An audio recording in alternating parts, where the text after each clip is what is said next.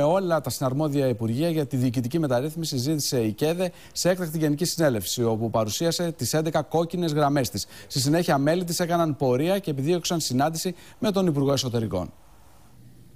Τα χέρια από τους Δήμους. Δήμαρχοι, αντιδήμαρχοι και μέλη δημοτικών συμβουλίων φτάνουν με πορεία έξω από το Υπουργείο Εσωτερικών και μπαίνουν όλοι στο κτίριο προκειμένου να συναντηθούν με τον αρμόδιο Υπουργό.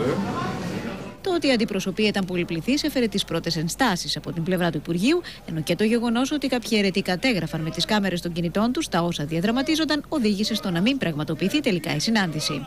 Καταδικάζουμε τις απαράδεκτες στιγμές που ζήσαμε στο Υπουργείο Εσωτερικών και ο κύριος Κουρλέτης δεν γύρισε την πλάτη στην αυτοδιοίκηση αλλά στους ίδιους πολίτες.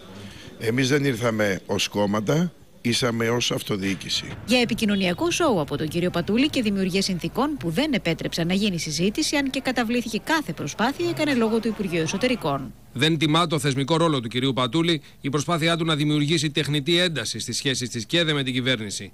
Διαδικασίες που έχουν γίνει σεβαστές από όλους μέχρι σήμερα, ιδιαίτερα από τους φορείς των εργαζομένων, αγνοήθηκαν, προκειμένου να κυριαρχήσουν μπροστά στις κάμερες κινητών τηλεφώνων οι κραυγές. Είχε προηγηθεί έκτακτη συνεδρίαση της ΚΕΔΕ, η οποία ζητά από την κυβέρνηση ουσιαστικό διάλογο για την επικείμενη διοικητική μεταρρύθμιση. Όσο δεν βλέπουμε προτάσεις συγκεκριμένες, δεν νομίζω ότι υπάρχει κανένα περιθώριο υποχώρησης. Εμείς θέλουμε πραγματική τοπική αυτοδιοίκηση δημοκρατική από τον άνθρωπο για τον άνθρωπο. Η τραγική ελλείψη προσωπικού σε όλες τις υπηρεσίες, η παλαίωση υποβάθμιση και η απαξίωση του μηχανολογικού εξοπλισμού έχουν οδηγήσει τις δημοτικές υπηρεσίες και τους εργαζόμενους σε αποδυνάμωση, εξουθένωση και εξαθλίωση. Μεταξύ άλλων, η ΚΕΔΕ ζητά την ενίσχυση της οικονομικής αυτοτέλειας των Δήμων, ενώ δεν συζητά αλλαγή του εκλογικού νόμου για την ανάδειξη δημάρχων. Οι τόνοι πάντως συνεχίζουν να είναι υψηλοί, με το Υπουργείο Εσωτερικών να επισημαίνει ότι όλα αυτά γίνονται για το χατήρι της Νέας Δημοκρατίας στο πλαίσιο της αντιπολιτευτικής της τακτικής.